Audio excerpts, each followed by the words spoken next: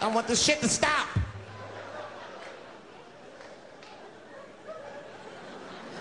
Crackheads are like that. I had a crackhead break my car window one time. Broke it. You know he stole? Fucking candy bar I had lying on the seat. That's all he took.